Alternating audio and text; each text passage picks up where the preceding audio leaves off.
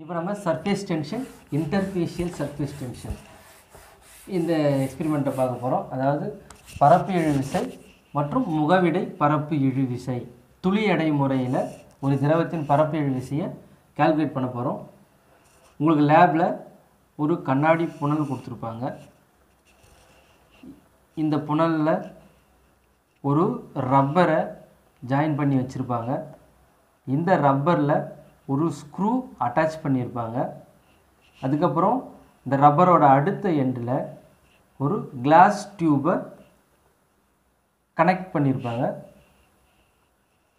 அதுக்கு கீழே ஒரு பீக்கர் வச்சுருக்கோம்.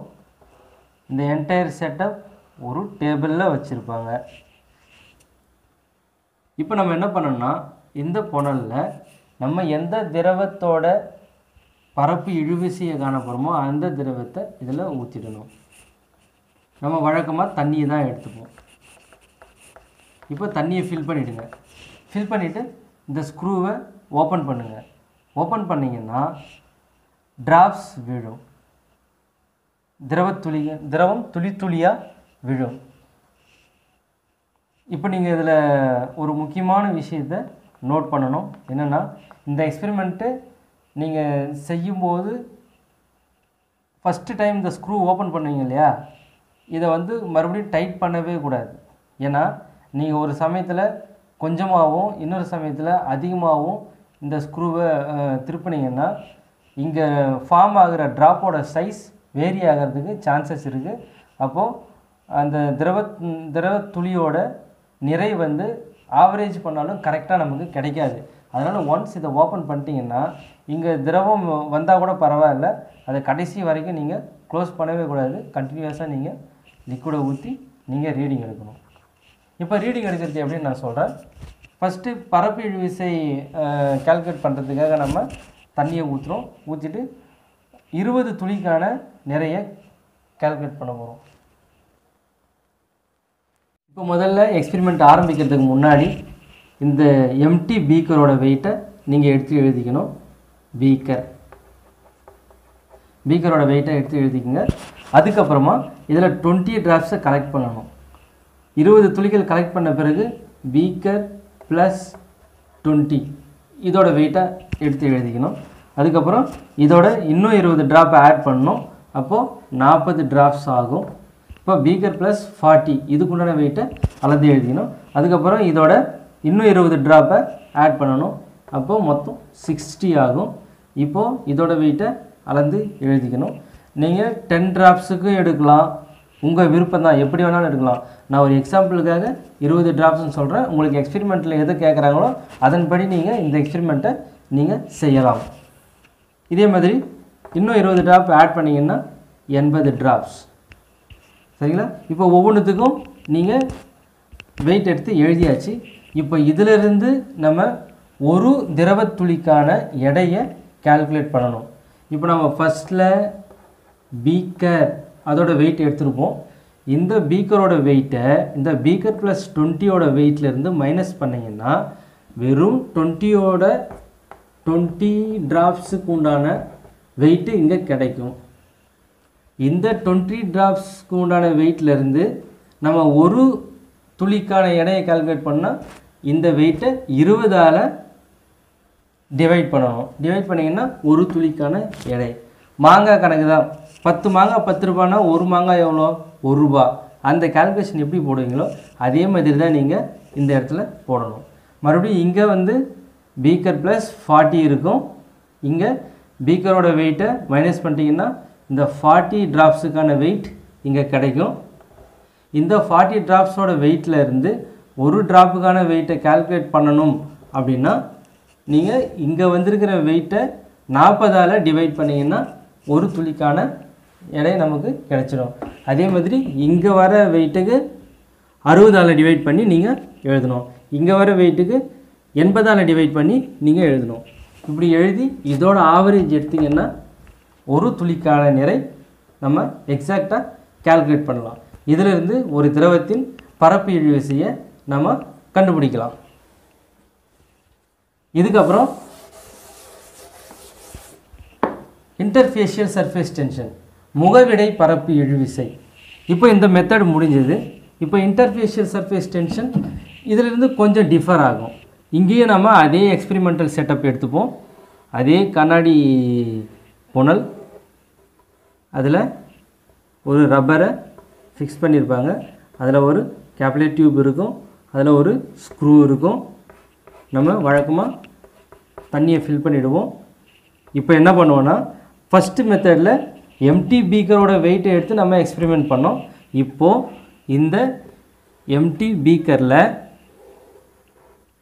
பாதிக்கு மேலே நம்ம கெரோசினை ஃபில் பண்ணிடணும். மண்ணெண்ணெய்.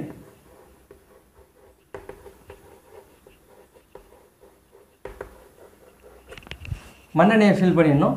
இந்த மண்ணெண்ணெயை ஃபில் பண்ணதுக்கு அப்புறம் நம்ம வெயிட் எடுக்கணும். இப்போது நம்ம டேப்லர் காலத்தில் பீக்கர் ப்ளஸ் கெரோசின் இது ரெண்டுத்தையும் சேர்த்து வெயிட் எடுத்து எழுதுவோம் இனிஷியலாக அதுக்கப்புறம் இந்த மண்ணெண்ணெயை எடுத்துக்கிற இப்போ இந்த கண்ணாடி குழாய் இந்த பீக்கரில் இருக்கிற மண்ணெண்ணெயில் மூழ்கி இருக்கிற மாதிரி இந்த அமைப்பை நம்ம வைக்கணும். அதுக்கப்புறமா இந்த கண்ணாடி குழாய் வழியாக திரவத் துளிகள் இறங்கும். அப்போ அப்படி வரும்போது நமக்கு தெளிவாகவே மண்ணெண்ணெயில் ஒரு வாட்டர் ட்ராப் விழுறது தெரியும்.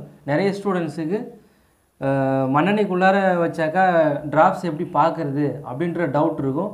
அதனால தான் அவங்க இந்த மண்ணெண்ணிக்கு மேலேயே இந்த குழாயை வச்சு ஓப்பன் பண்ணிவிடுவாங்க ஓப்பன் பண்ணி எடுப்பாங்க. என்றதுக்கு ஈஸியாக இருக்குன்றதுக்காக. ஆனால் அது ஒரு தவறான முறை.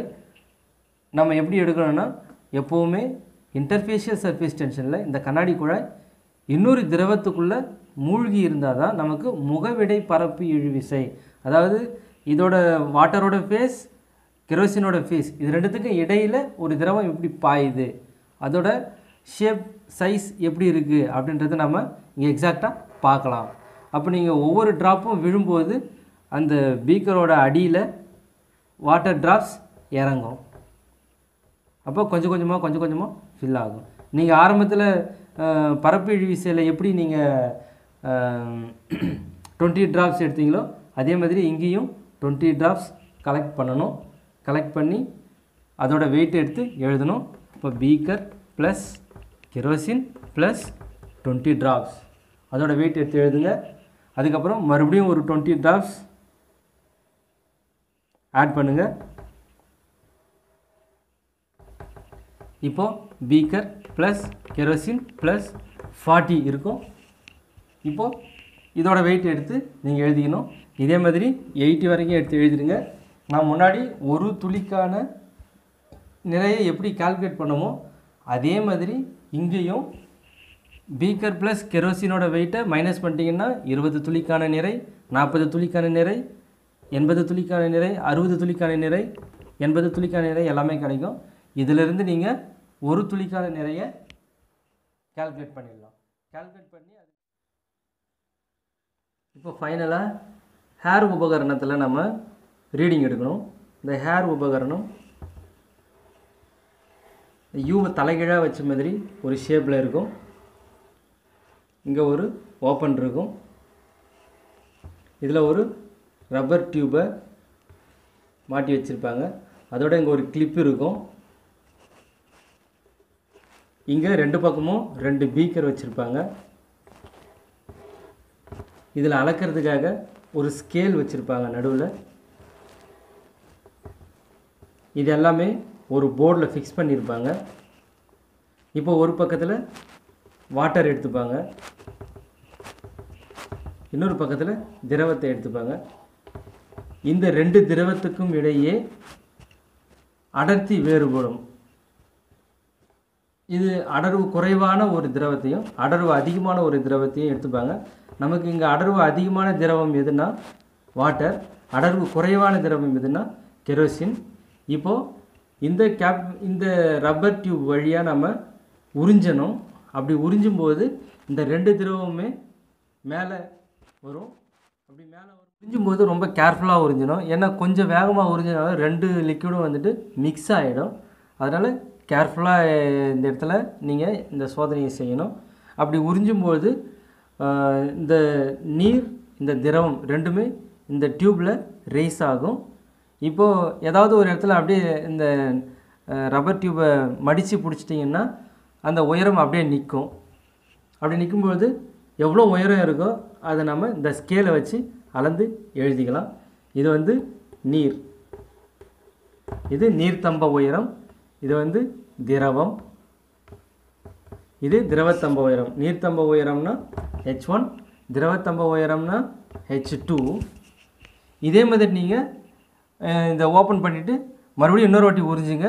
மறுபடியும் வேறு லெவலில் வந்து ரைஸ் ஆகும். அந்த லெவலில் நீங்கள் மறுபடியும் நோட் பண்ணிக்கணும். இதே மாதிரி இதை ஒரு சிக்ஸ் டைம்ஸ் எடுத்தீங்கன்னா போதும். இதிலிருந்து H one by H two equal to T two by T ஒன்னை கால்குலேட் பண்ணி நீங்கள் ஃபார்முலாவில் சப்ஸ்டியூட் பண்ணிக்கலாம். அதுக்கப்புறம் இந்த கிளாஸ் டியூப் இருக்கு இல்லையா? இந்த கிளாஸ் டியூப்பை வந்து தனியாக எடுத்து இல்லை அதில் இருக்கும்பொழுது ஒரு ஸ்க்ரூ கேஜ் எடுத்து இதோட ரேடியஸை நீங்கள் மெஷர் பண்ணிக்கணும்.